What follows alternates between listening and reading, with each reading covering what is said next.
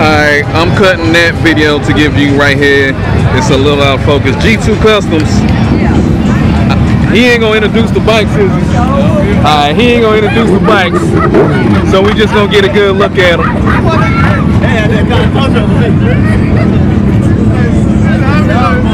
Hey,